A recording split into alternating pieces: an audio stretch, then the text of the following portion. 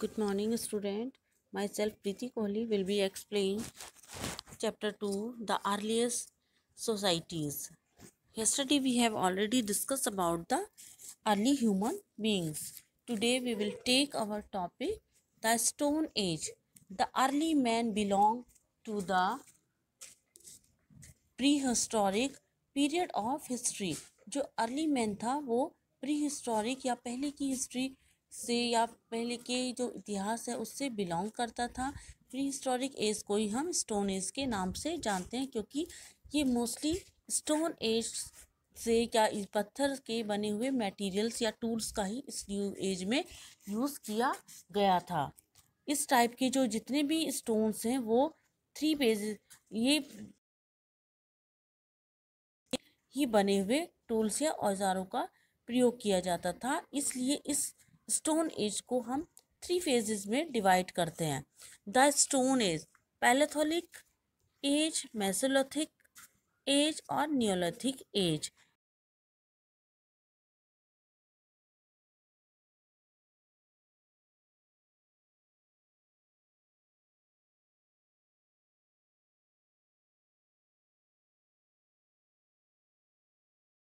extend from 2 million years ago to about 12,000 years ago. During this period, early man used crude unpolished stone tools.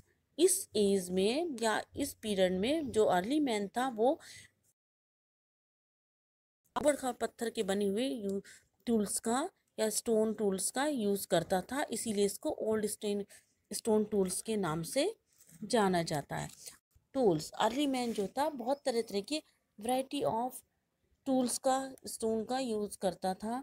और ये ज़्यादातर mostly इसके जो tools हैं, वो हैवी होते थे, क्रूड होते थे और अनपॉलिश्ड होते थे।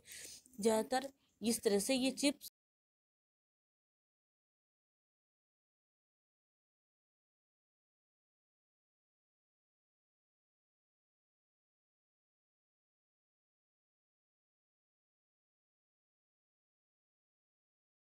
को जो पेलेथिक पीरियड है into lower middle and upper palaeolithic age के नाम से भी आर्कोलॉजिस्ट ने इसको डिवाइड किया है।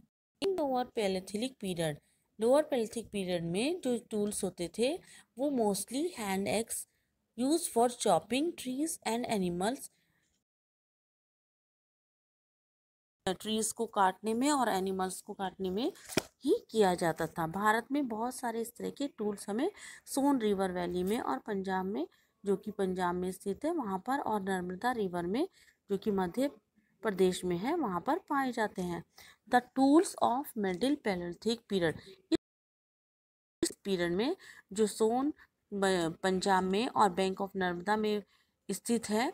वहाँ पर इस तरह की जो मेनली टूल्स हैं, जो पैलेथिलिक ब्लेड पाए गए हैं और झारखंड में, छोटा नागपुर प्लेटो में भी, मध्य प्रदेश में भी ये इस तरह के टूल्स पाए गए हैं। मैंने, बहुत सारे टूल्स हैं जो पैराथ्रिक एज के हो इंडिया की साइड लाइक मिर्ज़ापुर बिटका कुरनोल, बोरी, इन सब जगहों पर भी पाए गए हैं। At Kurnool in Andhra Pradesh archaeologists have found traces of indicating the use of fire by the prehistoric man इस कारनूल एक जगह है जो कि आंध्र प्रदेश में आर्कोलॉजिस्ट ने वहाँ पर ऐश यानी कि राख जो फायर उस टाइम पर जला, उसको इंडिकेट करती है कि इट मीन्स कि प्री हिस्टोरिक मैन जो था, उसने आग को भी जलाया था या आग को जलाना भी सीख लिया था। Were use for variety of purpose ये टूल से बहुत सारे पर्पज़ में इसका यूज़ किया जाता था। फॉर एग्जांपल मीट काटने में बोन्स करने में और